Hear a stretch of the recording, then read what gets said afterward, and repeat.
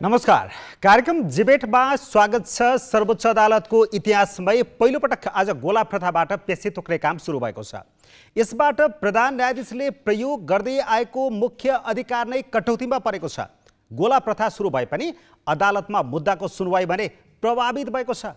Corona सङ्क्रमणका कारण अस्पताल भर्ना भएपछि पनि प्रधान न्यायाधीश राणाले अस्पतालबाटै अदालत चलाउन खोजेको भन्दै कानुन व्यवसाय र न्यायाधीशले संशय व्यक्त गरेका गोला प्रथाबाट पेशी तोक्दा अब न्यायालयका व्यथिति अन्त्य हुन्छन्। यसले न्यायपालिकालाई कमजोर बनायो कि बलियो बनायो? गोला प्रथाका अरू असर र प्रभाव के होलान्? आज हामी यिनै विषयमा केन्द्रित रहेर कुराकानी गर्दैछौँ र छलफलका लागि हामीसँग हुनुहुन्छ पूर्व प्रधान न्यायाधीश सुशीला कार्की यहाँलाई स्वागत छ। अब आजदेखि सर्वोच्चमा गोला प्रथाबाट पेशी तोक्ने कामको सुरुवात त भयो तर मुद्दाको सुनवाई भने हुन सकेन। प्रधान न्यायाधीश चोलेन्द्र शमशेर राणाले अस्पतालबाटै अदालत चलाउन खोजेको आरोप लागेको छ। अहिले चाहिँ यसलाई कसरी हेर्नुभएको छ? एउटा कुरा के हो भने छोटोमा भन्न भन्दाखेरि एउटा कुरा के हो भन्दाखेरि अब आफू अशक्त भयो भने विदेश गयो भने अथवा आफू बाहिर राजधानीभन्दा बाहिर गइयो र पेसी तोक्न ओर्न आफूले असम्भव भएको पहिले पहिले असम्भव भएको बेलामा चाहिँ त्यो चाहिँ कामु दिएर चाहिँ अर्को नम्बर वानलाई आफूभन्दा मुनिको नम्बर वान जो हुनुहुन्छ उहाँलाई वरिष्ठ न्यायाधीशलाई चाहिँ कामु दिएर अनि उनले चाहिँ तोक्ने चलन चाहिँ हो पहिलेदेखिको। अब अहिले पनि त उहाँलाई कोरोना भनेको निश्चित छैन कोरोनाको।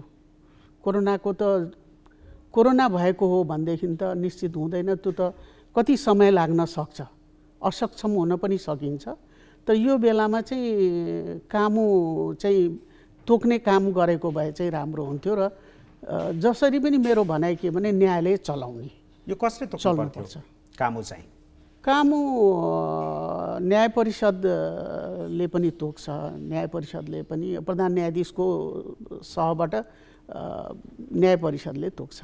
अब न्याय परिषदले पनि अहिले सक्रियता नदेखाएको अवस्था भयो। कायम मुकायम प्रधान न्यायाधीश को हो भन्ने विवाद सुरु भयो। अब यसको निरूपण चाहिँ कसले गर्ने कसरी गर्ने त? निरूपण त अब कस्तो भनेदेखि निरूपण चाहिँ न्याय परिषदले पनि गर्न सक्छ। जब के छ भन्दाखेरि कुनै प्रधान न्यायाधीश योग्य छैन। कुनै बेला भनौँ न म नाम लिन्न। यो व्यक्ति योग्य छैन उसको चाहिँ समय समाप्त भइसकेको छ भनेर एउटा सचिवले पत्र दिएको भरमा प्रधान न्यायाधीश आउट हुन्छ भन्दाखेरि गोपाल पराजुले त्यो उसले चाहिँ न्याय परिषदले चाहिँ आँट गरेर काम काम कायम चाहिँ उहाँलाई बनाउन पनि सकिन्छ। किनभने भएको प्रधान न्यायाधीशको समय निश्चित छैन। उनको चाहिँ अब अहिले के छ भने बिरामी भए भएको मानिस बिरामी कोरोना भएको मानिसको चाहिँ अहिले तुरुन्तै ठिक हुने भन्ने कुरा आउँदैन।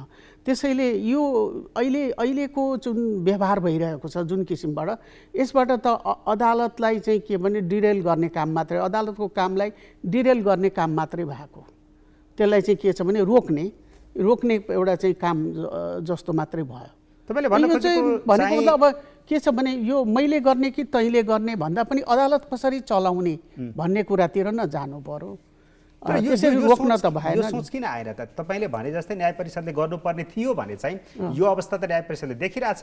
त्यहाँबाट काम हुन किन सकेन? यहाँनिर फेरि अर्को पनि प्रश्न उठ्छ। न्याय परिषदको अध्यक्षता प्रधान न्यायाधीश नै हुनुहुन्छ। अब न्याय परिषदलाई पनि हेर्ला नहेर्ने होइन। न्याय परिषदले अहिले प्रधान न्यायाधीश छँदैछन् भन्ने हिसाबले नगरे होला। तर यो यसरी चाहिँ कसो भने यसले गर्ने कि त्यसले गर्ने भन्ने कुरा भइरह्यो भने त पेसी चाहिँ अड्किएर जान्छ।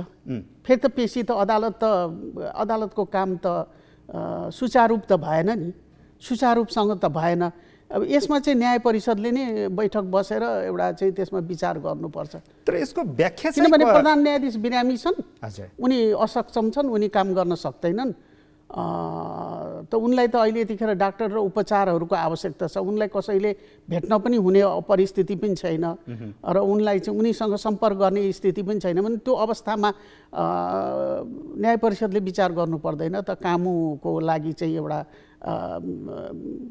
तयार गर्नलाई अब त्यो पछिको प्रधान न्यायाधीश पछिको अर्को व्यक्ति काम चलाउको निम्ति चाहिँ काम कामु भनेको त काम चलाउन हो, हो त्यो त्यसको लागि त तयार गर्नु पर्यो नि त यसमा वरिष्ठतम न्यायाधीश स्वत कायम मुकाम प्रधान न्यायाधीशको रूपमा काम गर्न सक्ने व्यवस्था छ कि एउटा? चिठी चाहिँ दिनुपर्छ एउटा। पत्र चाहिँ पाउनुपर्छ एउटा पत्र चाहिँ पाएको हुनुपर्छ त्यो चाहिँ हुँदैन अब यसको व्याख्या। चाहिँ कसरी हुन्छ संविधानको धारा चाहिँ के भने जेनरली के हुन्छ भन्दाखेरि कुनै प्रधान न्यायाधीश जस्तो हामीले देखेका छौँ विदेश जाँदाखेरि काम मुकायम अर्कोलाई बनाएर हिँड्या हुन्छ। अब त्यो प्रधान न्यायाधीशले सही गरोस् कि नगरोस् उसको भनाइमा न्याय परिषदले चिठी पठाउँछ। पठाएको हुन्छ ओके तर यसको व्याख्या चाहिँ कसरी गर्ने त अब यहाँनिर अर्को प्रश्न उठ्ने होला जस्तो संविधानको धारा एक सय उन्तिसको छमा प्रधान न्यायाधीशको पद रिक्त भएमा भन्ने कुरा छ यो रिक्त भएको अवस्था त होइन रिक्त भएको अवस्था। कुनै कारणले प्रधान न्यायाधीश प्रधान न्यायाधीशको पद रिक्त भएको अवस्थाको त अर्कै कुरा हो नि त्यो अर्कै। कुरा हो। र- अर्कै कुरा हो यो भनेको के हो भने प्रधान न्यायाधीश उपस्थिति नभएकोमा अदालतमा उपस्थित नभएको बेलामा अर्को व्यक्तिले काम मुकायम भएर चलाइदिने। भनेको त्यहाँ भएको क्लजमध्ये कुनै कारणले प्रधान न्यायाधीश आफ्नो पदको काम गर्न असमर्थ भएमा भन्ने यो पोइन्टले छोयो। यो यो असमर्थ भएमा अथवादेखि उनी मुलुकभन्दा बाहिर भए। विधामा विधा बसे। विधा बस्ने बस्नु विधा पनि बसेको होइन। अब यसलाई त बिदा पनि मान्न पर्यो जस्तो लाग्छ मलाई। मेरो हिसाबले त अब भोलि उनको बिदा हुँदैन त त्यो के त्यो एउटा के भनेदेखि त्यो बिरामी बिदा हो नि त त्यो। तर माग्नु त पर्ने त बिरामी बिदा हो नि त। सम्बन्धित जबमै बसेको त होइन उहाँ हस्पिटलमा हो तर सम्बन्धित मान्छेले। चाहिँ म बिदामा बसेको छु भन्नु पर्ला। त्यो खालको उहाँ त अदालतमा उपस्थित हुनुहुन्न। यो त बिरामी बिदा भनिन्छ। यसलाई त बिरामी बिदा भएको बेलामा। म बिदा लिएर बस्छु भन्न पाइयो। म बिरामी बिदा लिएर बस्छु भन्न त पाइन्छ नि त। त्यो बेलामा काम मोकायम दिएर जाने हो। भनेको अस्पतालले नै उहाँ बिरामी हुनुहुन्छ यसबाट सङ्क्रमित हुनुहुन्छ उहाँको अवस्था स्थिर छ भनेर विज्ञप्ति नै निकालिसकेपछि उहाँ चाहिँ बिरामी नै हुनुहुन्छ भन्ने पुष्टि भयो र उहाँ बिरामी बिदामै बसे सर भयो। भयो भयो किन भन्नुहुन्छ भने अब यो कस्तो भने हरेक कुरालाई कानुनले कभर गर्दैन हेर्नुहोस्। हरेक कुरा हर इन्सिडेन्टलाई कानुनले कभर गर्दैन। त्यो इन्सिडेन्ट त जति जसरी आउँदै जान्छ व्याख्या हुँदै जान्छ। कोरोनाको जुन रूप देख्नु भएको छ नि हिजो हैजा थियो। हैजाभन्दा यो विशेष छ बढ्ता छ। यो त अति भनेपछि मान्छेलाई सर्यो भने मर्ने अवस्थाको रोग हो। कयौँ मान्छे मरेर गए। भारतमा हेर्नुहोस् एकचोटि खोलाका किनार कुनै बचेनन् सबै आगो बलेको देखियो। यो त त्यस्तो डिजेज हो त्यस्तो रोग हो। भने यो सङ् यति सङ्क्रमित हो कि उसलाई छुन जान हुँदैन उसलाई उसँग गएर सम्पर्क गर्न हुँदैन। उनलाई कोरोना भयो भने कुनै कर्मचारी चाहिँ गएर उनको एटेन्ड गर्छ र डक्टरले बाहेक मात्रै गर्छ नि त। त्यो परिस्थितिमा त बिरामी नै भएको हो नि त। एक प्रकारले उहाँ उनले त भोलि आफू उनी अदालतमा हाजिर भएका छैनन्। उनको हाजिरी अदालतमा नभइसकेपछि उनी हाजिर अदालतमा नभइसकेपछि त्यो बेलालाई के मान्ने त हामीले? बिरामी बिदा त भन्नु पर्यो त। बिरामी भोलि बिरामी बिदा बिरामी बिरामीको बिदा लिन त पाइन्छ। बिरामी भएको अवस्थामा त्यो बेलामा हाजिर भएको त भन्न मिलेन। अस्पतालमा सुतेको मान्छे के अरे अदालतमा छ भन्न त पाइयो। त्यो त भएन नि। त्यसैले बिदा त बिदै मान्नु पर्यो नि त। त्यो बिदा भएर असक्त भएर काम गर्न नसकेको बेलामा कामु दिनुपर्छ। कामु पनि के हुन्छ भने प्रधान न्यायाधीशले नै सही गरेको भन्ने पनि आउँदैन। पछि पनि सही गरिदिन सक्छन् या नगर्न पनि सक्छन् त्यो कुरालाई प्रधान न्यायाधीश र न्याय परिषदको अन्डरस्ट्यान्डिङ हुन्छ। न्याय परिषदले चिठी पठाइदिन्छ सचिवले। अब तपाईँ आजदेखि काम हुनुभयो अब एउटा हाइपोथेटिकल प्रश्न सायद त्यस्तो नहोला तर पनि फेरि परिस्थिति र नजिरहरूले त्यस्ता पनि देखाएको छ। ल मानिलिउँ न्याय परिषदले पनि यो बारेमा निर्णय गरिदिएन। यस्तै गरेर यो अल्झिरह्यो बल्झिरह्यो भने त झन् समस्या अब उत्पन्न हुने भयो अब मेरो भनाइ के छ भनेदेखि यो पनि भएन त्यो पनि जस्तो बिरामी छ बिरामीले दबाई पनि खाएन पानी पनि खाएन औषधि पनि खाएन ऊ मर्नै चाहन्छ भन्यो भने बेग्लै कुरा हो हेर्नुहोस्। होइन भने अदालतलाई चलाउने हो भने अदालत त चलाउनु पर्यो नि। हिजो के कुरा उठ्यो भने हिजो हडताल भइरहेको थियो। त्यतिखेर चाहिँ मानिसहरूले हाई तोबा गरे हाम्रा मुद्दाहरू भएन हामीलाई अन्याय पर्यो। यो लामोसम्म राख्न त भएन नि त। अब त्यसरी चाहिँ के छ भने जनतालाई मर्का पर्ने ठाउँमा त्यस्तो अभर पर्ने ठाउँमा यस्तो एउटा के छ भन्दाखेरि एउटा न्यु खोज्ने भन्छन् नि। त्यस्तो कुरो गरेर त भएन। सरल बनाइदिनु अब न्यायपालिकाको इतिहासमा सर्वोच्च अदालतको इतिहासमै पहिलो पटक गोला प्रथाबाट पेसी तोक्ने काम आजदेखि सुरु भएको छ। यसले चाहिँ के अब अदालतभित्र देखिएका सम्पूर्ण व्यथितिको अन्त्य गर्छ? हेर्नु हेर्नु म बताउँछु। न्याय यो न्यायिक इतिहासमा गोला प्रथा तल्ला अदालतहरूमा थिए। जिल्ला अदालतहरूमा थियो गोला प्रथा। हामीले थाहा पाउँदासम्म पनि थियो। सर्वोच्चमा? होइन सर्वोच्चमा थियो कि। थिएन? तर तल्ला अदालतहरूमा थियो। थियो। सर्वोच्चमा चाहिँ प्रधान न्यायाधीशले तोक्ने गरेको हो। अहिले प्रधान न्यायाधीशले तोकेकोमा यतिखेर चाहिँ विवाद आयो। यो ठुलो विवाद भयो अब विवादमा कस्तो देखियो भने म तपाईँलाई भन्छु कि उन्नाइसजना न्यायाधीशहरू बिसजना न्यायाधीशहरूमा उन्नाइसजना न्यायाधीशहरूले विरोध गरे। सारा वकिलहरूले विरोध गरे। अनि सारा पुराना चिफ जस्टिसहरू हुनुहुन्छ जजेसहरू जो हुनुहुन्छ जजेस सोसाइटी जसलाई भनिन्छ त्यसले विरोध गर्यो। जुन संस्थामा काम गर्ने हो जस्तो तपाईँको यो जुन आफ्नो चाहिँ यो च्यानल छ टिभी च्यानलहरू छ त्यो च्यानलको भरिको चाहिँ व्यक्तिले यहाँको एमडीको विरुद्धमा सारा एउटा व्यक्ति पनि उसको फेभरमा छैन र सारा व्यक्ति चाहिँ एमडीको विरुद्धमा गयो भने के हुन्छ? त्यहाँ के बुझिन्छ भने समथिङ इज रङ केही कुरा चाहिँ अवश्य पनि त्रुटि छ। किनभने सारा मान्छे उसको खिलाफमा त्यो संस्थाको खिलाफमा सारा मान्छेहरू किन गयो भन्ने प्रश्न त उठ्छ नि।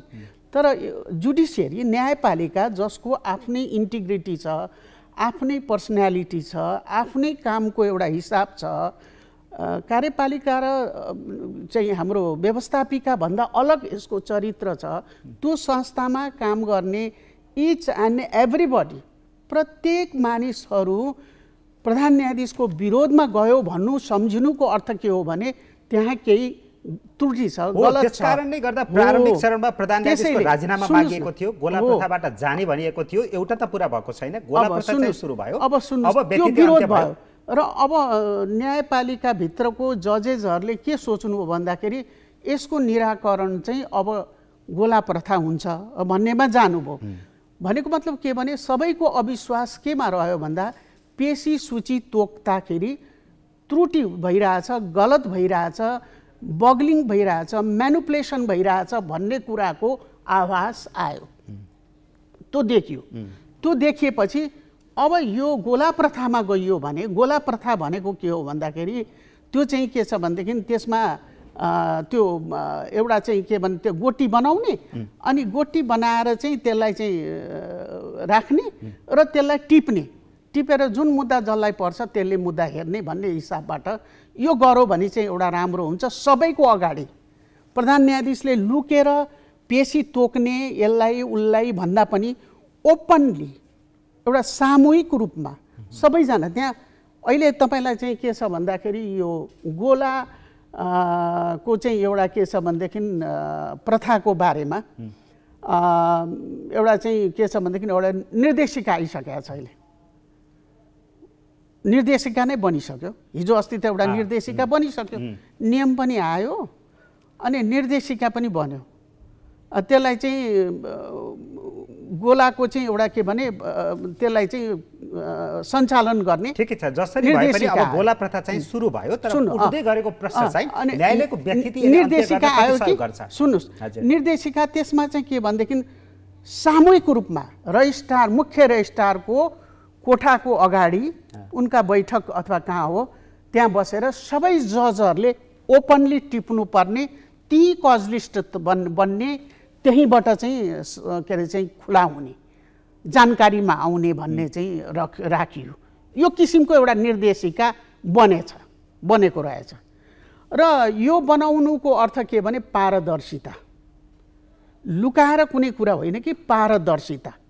सबैको नजरमा चाहिँ आओस् ओपन होस्। कसैको चाहनामा पेशी तोकिएन। कुनै न्यायाधीशलाई यसमा पार्छु भन्ने चाहना चाहिँ त्यहाँ। हरायो सम्भावना रहेन। न्यायपालिकामा मैले तिस एकतिस वर्ष वकालत गरेँ है? नौ वर्ष करिबन मैले न्यायाधीश प्रधान न्यायाधीश र एक वर्ष प्रधान न्यायाधीश र आठ वर्ष जति न्यायाधीश भएर काम गरेँ। म तपाईँलाई के बताउन चाहन्छु भने मैले वकिल हुँदाखेरि पनि सुनेको कुरा है। मैले देखेको कुरा चाहिँ होइन। विभिन्न कुराहरू आउँथे न्यायपालिकाभित्रको प्रब्लमहरू। एउटा के पनि भनिन्थ्यो भनेदेखि यो चर्चामा आउनुपर्छ। कजलिस्ट बिग्छ नम्बर वान। कजलिस्ट बिग्ने भनेको मतलब कजलिस्ट तयार गरिने फ्ल्यास हुने। कजलिस्टै फ्ल्यास हुने एउटा। एउटा त्यो। अर्को सर्टेन प्रधान न्यायाधीशमा इमान्दारिता रहेन भने त्यो प्रधान न्यायाधीशले चाहिँ अमुक मुद्दा उसले घुस खानु पर्दैन। घुस खानु पर्दैन। अमुक मुद्दा अमुक जजकोमा हालिदे हालिदिनु भनेर त्यसको आधारमा पैसा लिने लिने गरेको भन्ने पनि चर्चा पहिले हामी वकिल हुँदाखेरि यस्तो पनि हुने गरेको छ अरे कुनै कुनै बेला भन्ने हामीले सुन्यौँ। सबै प्रधान न्यायाधीशका बेला होइनन्। नेपालमा इमान्दार भन्दा इमान्दार प्रधान न्यायाधीशहरू पनि आउनुभयो। हुनुहुन्छ पनि अहिले पनि हुनुहुन्छ ती प्रधान त्यस्तो चर्चा न्यायाधीश चाहिँ कुन प्रधान न्यायाधीशको पालामा बढी चल्यो? म नाम भन्दिनँ। म यो सुनेका कुराहरू।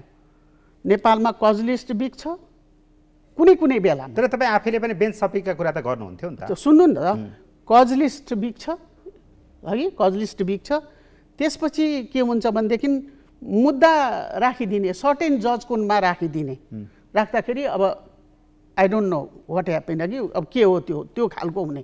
अब यसले गर्दाखेरि के हो भने यो फेयर चाहिँ अनेस्टी पनि होइन फेयरनेस पनि होइन। जजमेन्टको फेयरनेस होइन। कुनै मुद्दा फलानु जज कहाँ पारिदिने भन्नुको मतलब त्यो जज प्रभावित छ।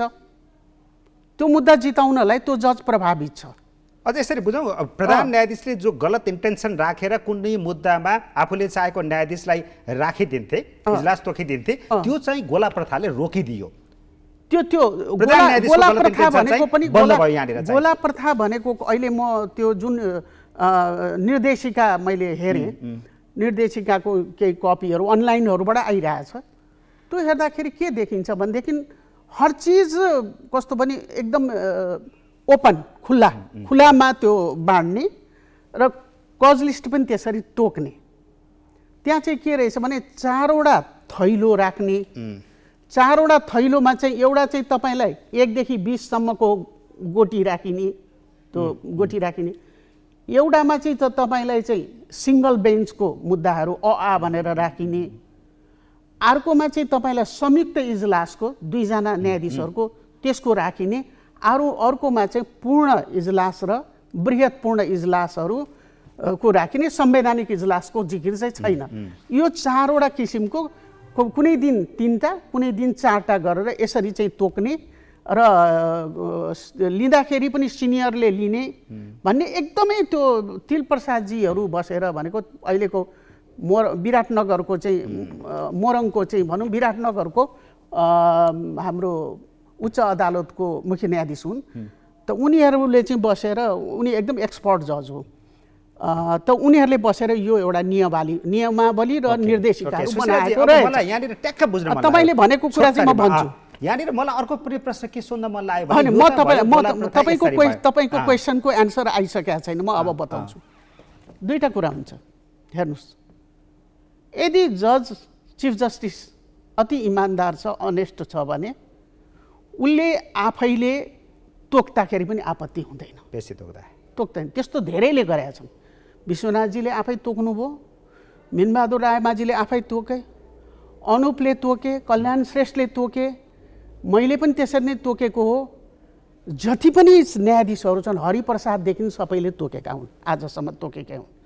मैले अघि भने नि तपाईँलाई कुनै कुनै जजको पालामा चिफ जस्टिसको पालामा त्यस्ता कुराहरू सुनिए कि कजलिस्ट बिक्छन् कजलिस्ट मात्रै बिकेर पनि भएछ अथवादेखि मुद्दा यसरी स्पेसल कसलाई हालिदिने हो हालेर गम गम देखेर घुस खानु परेन कि त्यसरी तोकेर पनि पैसा। कमजोर पारेर प्रधान न्यायाधीशको सुन्नु काम। अब के? हेर्नु हेर्नु कम त्यो त्यो क्वेसनमा म आउँछु। अब मुख्य कुरा के हो भने एउटा इमान्दार इन्टिग्रिटी भएको जज भयो भनेदेखि उसले के हेर्छ? दुई तिनवटा कुरा हेर्छ। कुन मुद्दा कुन न्यायाधीशले पार लाउन सक्छ? कुन न्यायाधीशमा कति क्षमता छ? हो। कति उसमा चाहिँ काबिल छ? कुन मुद्दाको विज्ञ हो? विज्ञ हो। अ, आयकरमा को विज्ञ छ? अन्तर्राष्ट्रिय कुराहरूमा को विज्ञ छ? अथवादेखि तपाईँ देवानी मुद्दामा को विज्ञ छ? यस्तो कुराहरू हेर्छ न्यायाधीशहरूको समूह। थियो। अनि उसले के गर्छ भनेदेखि अनि उसले के गर्छ भने त्यो अझ तपाईँलाई केही समय पहिले चाहिँ समूह समूह चार पाँचवटा समूह गठन गरेका थियो। सेमी अटोमेसन खालको प्रक्रिया त सुरु अनि अझ? त्यो मात्रै होइन कि मुद्दा छिटो छरितो जाओस् भनेर मिनबहादुर रायबाजी सम्मानज्यूको पालातिर होला कल्याण श्रीमानहरू सबै मिलेर उनीहरूले चाहिँ के गरेका थियो भनेदेखि यो डिसिएम भनेर एउटा चलाएको थियो। त्यो त्यसमा चाहिँ के हुन्थ्यो भने पाँचवटा जजलाई तपाईँलाई चाहिँ के छ भनेदेखि यो राजस्वपट्टिको पाँचवटा जजलाई देवानीपट्टिको पाँचवटालाई जजलाई चाहिँ तपाईँलाई फौजदारीपट्टिको यसरी चाहिँ चार पाँचवटा छुट्याएको थियो। र सुरुमै के गरिन्थ्यो भनेदेखि उनीहरूलाई त्यो त्यसको सबै टिपोट पढ्न दिन्थ्यो। त्यो मुद्दाको टिपोट बनाएर पढ्न अगाडि दिन्थ्यो। अनि त्यही पाँच मध्येको कुनै जज कहाँ पढ्थ्यो त्यो मुद्दा। अनि त्यो पढ्दाखेरि के हुन्थ्यो भने सजिलो हुन्थ्यो। पहिले पढेको पनि हुन्थ्यो। अनि पढेको हुन्थ्यो र अनि उनीहरूले त्यो पढेर जानेको र त्यो जज पनि के रोजाइ हुन्थ्यो भने देवानीपट्टि को छ योपट्टि को छ भनेर त्यो रोजेर त्यो गर्दाखेरि मुद्दा छिटो जाने एउटा थियो त्यो तरिका थियो। अनि अर्को कुरो चिफ जस्टिसमाथि के निर्भर हुन्छ भने वास्तविक कुरा के हुन्छ भने सुशीलाजी त्यो सिस्टम थियो नि त्यो राम्रो सिस्टम सेमी अटोमेसन टाइपको सिस्टम यस्तो के छ भने त्यो चाहिँ कहिलेदेखि भत्कियो। कसको पालादेखि भत्कियो? त्यो राम्रो थियो कि? राम्रो हुँदै गएको अब थियो। कसको पाला त्यसैलाई निखारिएको भए त भत्कियो पनि म यो गोला भन्दिनँ। प्रथासम्म पनि आउनु पर्ने कस्तो- थिएन होला। यस्तो छ यस्तो छ। म तपाईँलाई बताइदिउँ। एउटा यो यो कुरा पनि म प्रश्न पार्छु। यहाँ के छ भन्दाखेरि नि हाम्रो हामीमा एउटा कस्तो कुरो छ भनेदेखि हामी के सोच्छौँ भनेदेखि म जति जान्ने कोही छैन। म जति उ गर्ने कोही छैन। त्यो फलानु अनि यहाँ स्पोइल सिस्टम जस्तो क्या स्पोइल सिस्टम ए त्यो मिनबहादुरले चलाएको? कसले तेल त्यसको कार्यक्रमलाई उ गर्ने? ए। फलानी हो त्यो त्यो त्यसको पपुल्यारिटीको लागि कसले काम गर्ने भन्ने यो प्रवृत्ति चाहिँ जुडिसियरीमा छ। इगो अँ इगो अनि यसको पालामा गरेको काम अर्कोले कन्टिन्यू नगर्ने। उसको पालामा गरेको काम उसले कन्टिन्यू नगरिदिने। त्यो त्यो त्यो पद्धति त्यो प त्यो देखिन्छ त्यस किसिमको म तपाईँलाई के भन्दै थिएँ भनेदेखि मेरो कुरा कहाँनिर आयो भने चिफ जस्टिसले यो जुन अहिले आयो नि तपाईँलाई अहिलेको जुन यो गोला प्रथा आयो अब गोला प्रथा म के भन्छु भने तपाईँको संस्था जुन छ नि यो ग्यालेक्सी तपाईँको संस्था तपाईँको चाहिँ यो के छ भन्दाखेरि एउटा प्रकृतिको छ। यसको मर्म त तपाईँलाई थाहा छ नि। डेफिनेटली डेफिनेटली है। मर्म तपाईँलाई थाहा छ? जुडिसियरीको मर्म जजहरूलाई थाहा छ नि त। एकदम। जुडिसियरीमा के समस्या छ? जुडिसियरीमा के समस्या छ? जुडिसियरीमा के भइरहेको छैन? सबै न्यायाधीशहरू त घुसै खाएर स्वर्ग जाइन्छ या नर्क जाइन्छ भनेर आएका त होइनन्। कति त नाम कमाउन आएका जजहरू छन् मेरा पालामा। थाहा छ हरेक जजमेन्ट गुड जजमेन्ट दिएपछि त्यो न्यायाधीशलाई राति निन्द्रा लाग्छ। मैले आज एउटा गुड जजमेन्ट दिन सकेँ या मैले अन्यायमा न्याय दिन सकेँ भन्ने चाहिँ मैले अन्याय परेकोमा। न्यायको राम्रो काम गर्दाको सन्तुष्टि र नराम्रो काम गर्दाको। हरेक। प्रश्नको उत्तर त सुन्नु अब प्रधान न्यायाधीशको अधिकार कटौती भयो एउटा यसले, प्रधान। न्यायाधीश एउटा प्रधान न्यायाधीश इमान्दार भयो भने उसले पेशी तोक्ता हुन्छ ठिक छ अब त्यो भइदिएन भइदिएन, यहाँनिर तर। एकजनाका रिसले अब सुन्नु न एकजनाको रिसको कुरा होइन कटौती भयो तपाईँ एउटा कुरा यहाँनिर मान भन्ने एउटा प्रश्न आयो? सुन्नुहोस् एउटा कुरा मान्नुहोस् मैले कसैको बदख्वाई गरेको होइन मैले कसैको आलोचना गरेको होइन। म। एउटै कुरा के भन्न चाहन्छु भने मेरो कुरो के हो भने उन्नाइसजना न्यायाधीशहरू मा एउटा व्यक्ति त अहिलेको प्रधान न्यायाधीशको पक्षमा रहनुपर्छ। एउटा पक्ष त। रहनुपर्छ। हो त किन सुन्नु न। हो त किन उनीहरू गोला प्रथामा गए त? हो यो यसरी गोला।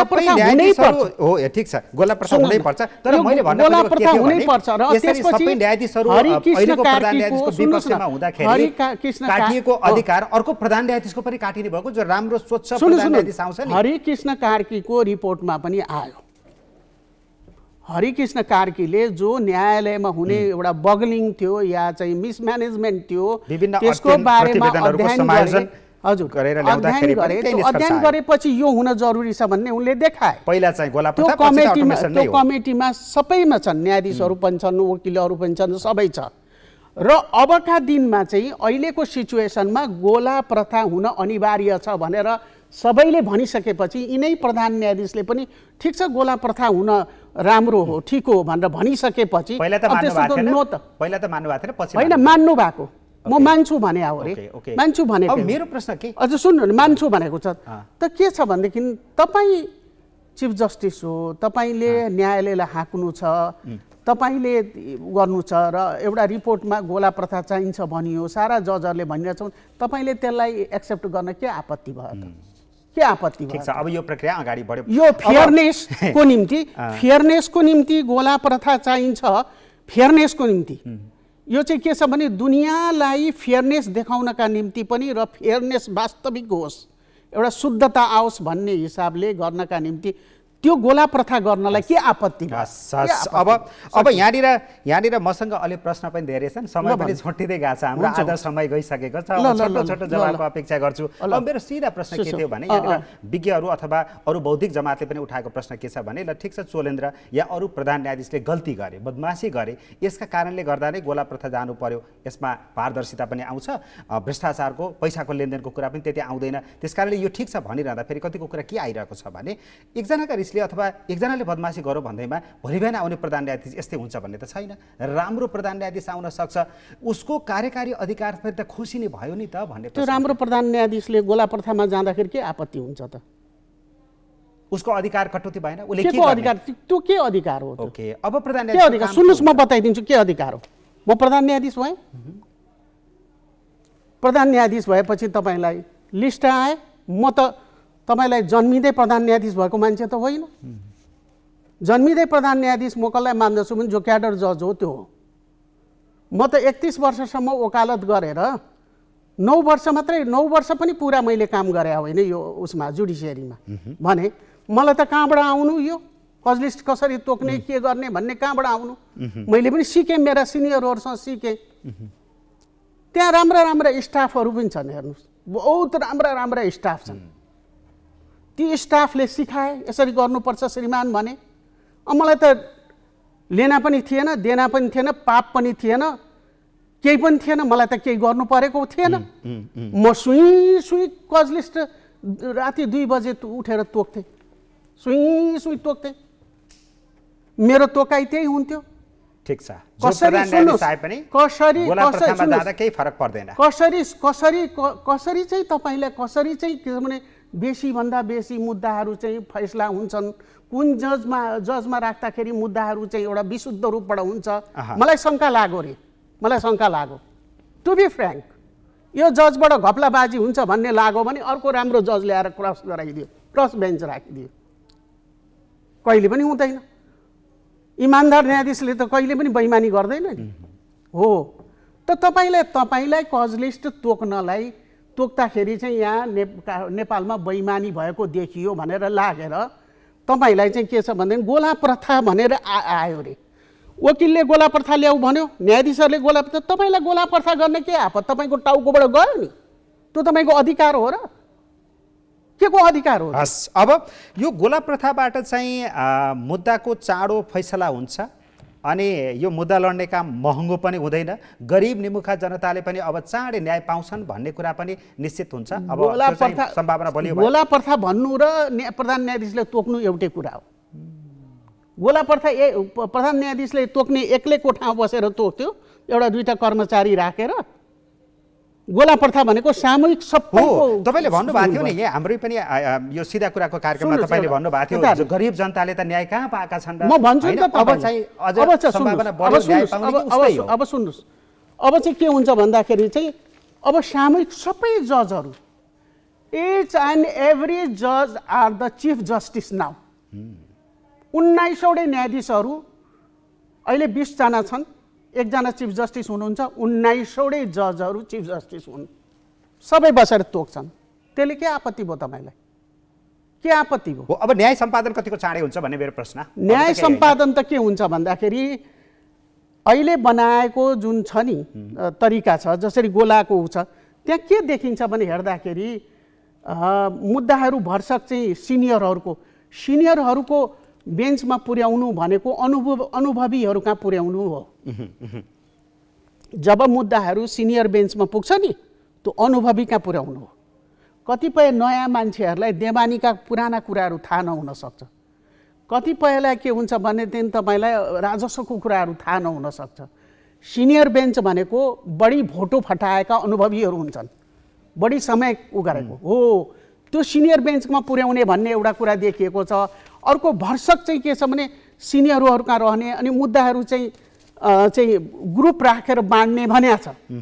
अब अहिले के छ भने यो सिस्टम यो सिस्टम पारदर्शी सिस्टम हो ओपन सिस्टम हो। यसको डिमेरिटहरू के कति आउँछन् त्यो त हेर्नै बाँकी छ नि त। मलाई यसको डिमेरिट चाहिँ के होला जस्तो लाग्छ भनेदेखि अलिकति समय बढी लाग्ला यो गर्नलाई। अलिकति यो जस्तो प्रधान न्यायाधीशले बसेर घरमा छाने जस्तो त होइन। कतिपय प्रधान न्यायाधीश हेर्दै नहेर्ने नि यो यो मुद्दा चाहिँ यो यो मुद्दा फलाना फलाना ठाउँमा राख भनेर अरू जस्तो निकाल निकाल भन्ने पनि थिए। त्यसमा के समय लाग्नु नि? त्यसमा त समय लाग्दैन। अब मुद्दा के अरे यस्तो लिस्ट बनायो कि जुन लिस्टबाट चाहिँ मुद्दा जाओस् मुद्दा बढी से बढी हेरुन् सिनियरहरूले हेरुन् भनेर छान्न थाल्यो भने त टाइम लाग्छ। अब होइन जसले. जसो हेरो त त्यो. त त्यो त अलग कुरो हो अब- त्यसै कारण सुन्नुहोस् एक। मिनट अब सुन्नुहोस् त्यसै कारण चाहिँ एउटा कुरा एउटा कुरा तपाईँलाई के भन्न थाल्छु भने चाहे प्रधान न्यायाधीशले एक्लै बसेर त्यो कजिस तोकोस् त्यो म राइट पो हो पनि भन्दिनँ र यसमा अन्तर केही हुँदैन र त्यो चाहिँ मेरो अधिकार के को अधिकार नि उनको एउटा अधिकार थियो अहिले सबैको अधिकार आएको त्यति हो कुरो प्रश्न त्यति हो ठिक छ अब यो पछिल्लो पटक न्यायिक नेतृत्व विवादित हुँदै अनि बाहिरिँदै गर्ने श्रृङ्खला जस्तो चलेको छ कि? पछिल्ला केही कडीहरू हेर्ने हो भने। र प्रधान न्यायाधीशको अस्वाभाविक बहिर्गमन जस्तो पनि देखिएको छ। पुरा कार्यकाल नखाँदै विभिन्न विवादमा पर्दै बाहिरिने स्थिति आइरहेको छ। यसको अन्त्य त हुनु पर्ला नि। अन्त्य कसरी गर्ने? यसले त न्यायपालिकामाथि नै विश्वास डगमगाउन थालेको छ जनताको यो हो के भनेदेखि न्यायपालिकालाई स्वतन्त्र रूपबाट काम गर्न दिने चाहिँ यहाँ चाहिँ के छ भने पोलिटिकल उसको चाहिँ हाम्रो पोलिटिकल सर्कल छ नि त्यसको न्यायपालिकालाई स्वतन्त्र रूपबाट काम गर्न दिने उनीहरूको चाहिँ के छ भन्दाखेरि त्यो नियत छैन। त्यति हो। तर फेरि न्यायपालिकाको स्वतन्त्रतामाथि हामी हस्तक्षेप गर्दैनौँ। अहिले न्यायपालिकामा देखिएको विवाद जे हो त्यही भित्रबाट मिलाऊ भन्नुहुन्छ त बडो नेता हेर्नुहोस् हेर्नुहोस्। रा अलिकति इमान्दार खालको एक रुपियाँ पनि तलमाथि नगर्ने जज रहेछ भनेदेखि उहाँहरू किन त्यसलाई चाहिँ महाअभियोग र अनि त्यसलाई फाल्ने उहाँहरू कोसिस गर्नुहुन्छ? हामीलाई भएन त्यो भएन त्यो भएन भन्नुहुन्छ। र यत्रो म भन्छु कि म एउटै कुरा भन्छु यो यत्रो विवाद। अरूले बोल्न मिल्दैन। बाहिरियाले बोलेको म सडकबाट आन्दोलन गरेको र सडकबाट बोलेका कुराहरू चाहिँ म लिन्न। मलाई त्यो अर्थ लाग्दैन। तर न्यायालयलाई चिन्छ कसले? पोलिटिसियनले न्याय थाहा छ जसलाई संविधान थाहा छैन। संविधान नहेरिकन नपढिकन उनीहरू मनपरी काम गरिरहेछन्। संविधानलाई मिच्ने काम गरिरहेछन्। संविधानको धारा वाइज कसैलाई थाहा छैन कुनै पोलिटिसियनलाई थाहा छैन है? त त्यो अवस्था छ भनेदेखि अब न्यायपालिकाको त आफ्नो एउटा जुन प्रकृति छ जुन एउटा काम गर्ने एउटा तरिक तौर तरिकाहरू छ न्यायपालिकाको त त्यो अनुसारले कुनै व्यक्तिले काम गर्दैछ राम्रो काम गर्दैछ भने उनीहरू नरुचाउने। अब अहिले तपाईँलाई सारा व्यक्ति न्यायपालिकाका इर्द गिर्द सारा वकिलहरू हेर्नुहोस्। नन प्र्याक्टिसनरको कुरा नगर्नुहोस्। नन प्र्याक्टिसनर वकिलहरू आज सबै अहिलेको प्रधान न्यायाधीशको विरुद्ध को उठ्यो? भएन उहाँको स्वभावै भएन उहाँको तरिकै भएन काम गरै भएन भनेर को उठ्यो भन्दा? सारा। प्र्याक्टिसनर। प्र्याक्टिसनर। बद्रीबहादुर कार्कीले कहिले आन्दोलन गरे सुन्नु भएको छ? ब वरिष्ठ अधिवक्ता बद्रीबहादुरले आन्दोलन कार्कीले आन्दोलन गरेको अहिलेसम्म सुन्नु भएको छैन आन्दोलनमा सरिक भएको। त्यो व्यक्ति समेत हरेक बुढो वृद्ध कृष्णप्रसाद भण्डारी जस्तो मान्छेहरू उठे भनेपछि एउटा महसुस गर्नुपर्छ के कमी छ के कमजोरी। सारा कलिग जजहरू उठे। सारा चाहिँ के छ भनेदेखि चि के अरे चाहिँ पुराना न्यायाधीशहरू उठे भने तपाईँहरूले समथिङ इज रङ भन्ने बुझ्नु पर्दैन। तर त्यस कुराको चाहिँ राजनीतिक दलको अध्ययन कानमा- किन बतास लागेन त नि यस्तो? किन बतास लाग्दैन बतास लाग्दैन भने उहाँहरूलाई मन परेको। उहाँलाई यही सिचुएसन मन परेको छ ए- यही यही न्यायालयको अदालत गडबडी यो अदालतको व्यथिति नै मन परेको छ किन? किन? यसले के फाइदा छ किन भनेदेखि अदालत वास्तविक अदालत भयो अदालतले वास्तविक इन्फ्याक्ट काम गर्यो भने अदालतले साँच्चैको काम गर्यो भने उहाँहरूका हर डिस रङ डिसिजनलाई अदालतले फालिदिन्छ हेर्नुहोस्। त्यसै कारण उहाँहरूले गरेका हरेक डिसिजन जस्तो भनौँ अस्ति चाहिँ के भयो भन्दाखेरि संविधानको चाहिँ संविधान के अरे संसदको विघटन उहाँहरूलाई उहाँहरू मध्येमा कतिपयलाई त्यही विघटन मन परेको।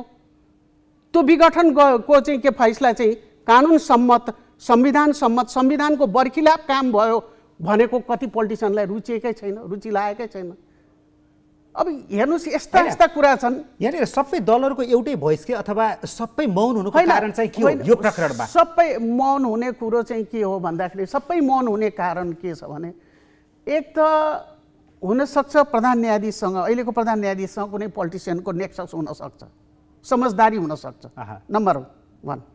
एउटा समझदारी केही समझदारी हुनसक्छ। अथवादेखि कति कतिलाई चाहिँ के छ भने आफूले के छ चाहेको व्यक्ति हुनसक्छ त्यो पनि हुनसक्छ। धेरै कुराहरू छन् त्यहाँ। ओके र हो के हो भनेदेखि यो किसिमको जुन एउटा चाहिँ एउटा एउटा सेक्टरै उठेर आयो। एउटा सेक्टर नै चाहिँ के भने हल्लियो। न्यायालय चाहिँ के छ? न्यायालयको गतिविधिमा चिफको भूमिका ठिक भएन भनेर यत्रो बवाल हो, विवाद। आउँदाखेरि अब पोलिटिसियनहरूले त्यसलाई सल्ट्याउने त्यसलाई मिलाउने त्यसलाई के कुन किसिमबाट चाहिँ एउटा फेयरनेस छैन केही छैन भने कसरी त्यसलाई सुल्झ्याउने कसरी त्यसलाई चाहिँ एउटा के छ भने सही बाटोमा ल्याउने भन्ने कसैले पनि त्यो सोचेन। कसैले पनि सोचेन। कसैले पनि सोचेन। कुरो के हो भन्दाखेरि अदालतको व्यथिति उहाँहरूलाई मन परेको छ। त्यो व्यथिति चाहिँ अहिलेको प्रधान न्यायाधीश निस्केर जाँदा बित्तिकै सबै सल्टिन्छ। सल्टिन पनि सक्छ नसल्टिन पनि सक्छ। तर राम्रो मान्छे व्यक्तिको हातमा पर्यो भने राम्रा व्यक्तिको हातमा पर्यो भने राम्रो व्यक्ति अगाडि आए भनेदेखि न्यायालयले बाटो लिन्छ। किनभने कुनै बेला त बाटो लिएकै हो। म तपाईँलाई बताइदिन्छु यहाँ राम्रा राम्रा चिफ जस्टिसले काम गरेर किन म तपाईँलाई गन्ती नै विश्वनाथ प्रसाद उपाध्याय हरिप्रसाद हुनुभयो। त्यसपछि तपाईँलाई लिनु न किन मिनबहादुर रायमाझीहरू भयो अनुपहरू भयो त्यसपछि केदार विश्वनाथजीको भाइहरू हुनुभयो। उहाँहरूको पालामा राम्रो एउटा अदालतले राम्रो रेकर्ड उ गरेको। कल्याण श्रीमानहरू हुनुभयो। उहाँहरूले एउटा के भने यस्तो अदालतको डिसिजनहरू यति राम्रा राम्रा डिसिजन गरेर एउटा राम्रो बाटोमा लिएर गए गएको हो नि अदालतको त एउटा राम्रो पर्सनालिटी। हो तपाईँले भने जस्तो राम्रा अनि अब न्यायाधीशहरू तपाईँले यहाँभित्र सुन्नुहोस्। भने सुध्रिन्छ भने राम्रा न। कसरी? ल्याउने सुन कसरी? सुन सुन्नुहोस् न। अब अब एउटै एउटा इक्जाम्पल भनौँ न। शाही आयोगको विरुद्धमा कत्रो साहस गर्नुभयो मिनबहादुर रायमाझीले होइन? त्यो भएन भनेर। भनेपछि जजले इभेन तपाईँलाई पञ्चायतको बेलामा पनि जजले आँट गरेका छन्। एउटा के भने जनताको मौलिक अधिकारको कुरालाई लिएर कस्तो राम्रो राम्रो डिसिजनहरू छ कति राम्रो राम्रो फैसला गरेका छ। इभेन तपाईँ उयो हेर्नुहोस् त नयनबहादुर खितको चाहिँ आफ्नो उहाँको चाहिँ वृत्तान्त जुन उहाँले लेख्नु भएको छ आफ्नो हो त्यो स्टोरीमा उहाँले पढ्नुभयो भने तपाईँले इभेन वीरेन्द्रलाई त्यो बेलामा सल्लाह दिनुभएको छ। ठिक छ ठिक छ। अब मेरो प्रश्न चाहिँ तपाईँले जुन भन्नुभएको छ नि अहिलेका प्रधान न्यायाधीश बाहिरी बाहिरिँदाखेरि सबै व्यथिति अन्त्य हुन पनि सक्छ। राम्रा न्यायाधीशहरू भयो भने चाहिँ अन्त्य हुन सक्छ नराम्रा पर्यो भने फेरि त्यस्तै पनि हुन सक्छ स्वाभाविक पनि हो। तर राम्रा न्यायाधीशहरू। ल्याउने कसरी? राम्रा न्यायाधीश आएनन् भन्ने प्रश्न धेरै पटक होइन न्यायाधीशलाई। सुन्नुहोस् न। न्यायाधीशलाई न्यायाधीश भएर काम गर्न दिनुपर्छ। राम्रो न्यायाधीश भन्नुभएको छ नि तपाईँले। न्यायाधीशलाई राम्रो न्यायाधीश भएर स्वतन्त्र भएर काम गर्न दिनुपर्छ उसमाथि दबाब प्रभाव हुनु हुँदैन। कसले दिन्छ यस्तो दबाब? पोलिटिकल पार्टीले पोलिटिकल पार्टीहरूको हुन्छ। पोलिटिकल पार्टीहरूको हुन्छ। त्यो अब त्यो ठाउँमा पुगिसकेपछि दबाब नसुने हुँदैन? दबाब नसुने पनि हुन्छ तर के भने दबाब सुन्न बाध्य गराउने पनि परिस्थिति पर्छ। तपाईँको पालामा पनि। त्यस्तै न्यायाधीशहरू नियुक्त भए त्यस्तै दबाब आयो भन्ने कुरा आयो। त सुन्नु न सुन्नु न कुरो के आयो भन्दाखेरि न्यायाधीशहरूलाई दबाब प्रभाव चाहिँ कसरी आउँछ भन्दाखेरि चाहिँ उनीहरूलाई दबाब प्रभावहरू विशेष नसुन्ने न्यायाधीशहरू पनि हुन्छन्। कतिपय कमजोर पनि नसुने भइहाल्यो त। होइन नसुने त तपाईँको हुन्छ भने तपाईँको पालामा के भएको थियो? मेरो नसु नसुने पनि हुन्छन् त्यो त्यो अलग कुरो हो तर सुन्ने बाध्य गराउने परिस्थिति पनि बनाउँछन् क्या त्यो एउटा। किनभने कतिपय मैले के थाहा पाएको छु जजहरू कस्तोसम्म छ भनेदेखि अब हाम्रै जजहरू उनीहरू चाहिँ पोलिटिकल पर्सनहरूको घरमा जाने। कानुन मन्त्रीहरूसँग भेट्ने उ गर्ने त्यो छ। अब त्यसलाई त वास्तवमा प्रधान न्यायाधीशकोमै जानुहुन्छ अरे मेरो मुद्दा के अरे यो मुद्दा मलाई पारिदिनुहोस् भनेर भन्ने कुरा बाहिर आउँथ्यो। हो यस्तो कस्तो कस्तो कानुन भयो? न्यायाधीश चाहिँ प्रधान न्यायाधीशकोमा त्यो मुद्दा चाहिँ मलाई पारिदिनुहोस् है भनेर पनि भन्न जानुहुन्छ भन्ने पनि बाहिर मेरा। पालामा त मैले सुनिनँ त्यस्तो मेरोमा चाहिँ। त्यस्तो- सुनिन्छ बरु मैले चाहिँ के चाहिँ सुनेको छु भने यो मुद्दा चाहिँ राजनैतिक ऊ भएको मुद्दा मेरोमा नपार भनेर आउँथे बरु। त्यसरी मेरोमा यो मुद्दा पारिदेऊ भनेर चाहिँ कोही आएन? त्यसरी आएन। त्यस्तो त्यो त भन्ने कुरो होइन। तर एउटा कुरा के हो भने जजहरू जजलाई प्रेसर गराउनु हुँदैन प्रेसराइज गराउनु हुँदैन। जजहरूलाई के छ भने न्यायपालिका भनेको एउटा छुट्टै अङ्ग हो जोसँग कुनै हतियार हुँदैन। कलम मात्रै हुन्छ उसलाई स्वतन्त्रसँग काम गर्न दिनुपर्छ। र अर्को कुरा चाहिँ के छ भन्दाखेरि कुनै कुनै डिसिजन गर्दा म तपाईँलाई बताइदिन्छु। कस्तो हुन्छ एउटा प्रश्न मेरो एउटा। एउटा भने कस्तो भने कहिलेकाहीँ कुनै कुनै एउटा ड्रास्टिक कुनै फैसला गभर्मेन्टका विरुद्धमा अथवा गभर्मेन्टका मान्छेका विरुद्धमा गरेको रहेछ भने राति प्रहरी आएर हाम्रो सेक्युरिटीमा बस्छ। मैले सोधेको छु किन तिमीहरू बसेको मेरो घरमा डेरामा वरिपरि किन बसेको? भने तपाईँलाई थाहा छैन तपाईँले कस्तो खतरनाक मान्छेको मुद्दा फैसला गर्नुभयो भनेर भनेको छ। त्यस्तो एउटा हुन्छ नि त्यो के हो त्यो त्रास हो कि के हो कि बडो अजिब छ त्यो कुरो। अब तपाईँले राजनीतिक दबावको र प्रभावको कुरा गर्नुभयो नि अब नडराउने हो भने त अर्कै कुरा डराएर प्रभावमा पर्ने हो भने तपाईँको पालामा पनि न्यायाधीश नियुक्तिमा त्यस्तै राजनीतिक दबाव भयो त्यहाँ पनि तपाईँ प्रभाव अथवा त्यो अप्ठ्यारोमा बिल्कुल, बिल्कुल, दबावमा। पर्नुभयो भन्ने यो त के। छ भने एकदम हल्ला गरियो मात्रै हो। अब तपाईँसँग टाइम छ कि छैन मैले फेरि स्पष्टीकरण दिनुपर्ने कुरा आउँछ तपाईँको मिडियाको मार्फतबाट। मेरो बेलामा कस्तो म एउटा महिला। पहिलोपल्ट नेपालको इतिहासमा महिला भएर प्रधान न्यायाधीश भएर चलाउनु पर्ने एउटा ठुलो अवसर। त्यो अवसरलाई मैले चाहिँ कसरी छ भनेदेखि चाहिँ राम्रोसँग उपयोग मुलुकका लागि गर्नुपर्ने मेरा लागि होइन। ओके अब दुई मिनट मात्रै भएको छ। सुन्नु न, मेरा लागि होइन मुलुकको लागि मैले उपभोग गर्नुपर्ने अवस्था थियो। र त्यही बेलामा तपाईँलाई सत्रवटा सातवटा चाहिँ तपाईँलाई के अरे चाहिँ स्थानीय ऊ प्रदेशको सरकारमा भएका अदालत हाइकोर्ट र अरू चाहिँ तपाईँलाई एघार चाहिँ के छ भन्दाखेरि चाहिँ तपाईँलाई शाखाहरू त्यसमा हामीलाई अस्सीवटा न्यायाधीश चाहिएकोमा त्यो बेलामा चाहिँ मैले नियुक्ति गर्न आवश्यक किन पर्यो भनेदेखि त्यो बेलामा पच्चिसवटा न्यायाधीश पनि थिएन। अदालत कसरी चल्थ्यो? मैले नियुक्ति नगरे भए। बाध्य भएर भए पनि बाध्य-। भएर। दबाब हो राजनीतिक प्रभाव। छ भन्ने जान्दा जान्दै पनि। यो बिल्कुल पनि होइन। तर एउटा कुरा के मान्नुहोस् भने अहिलेको बनोट जुन छ नि न्याय परिषदको त्यो रहिरह्यो भने सधैँ नियुक्ति चाहिँ के भने पोलिटिकलै भएको हो भन्ने नगरे पनि भएको ठहरिन्छ।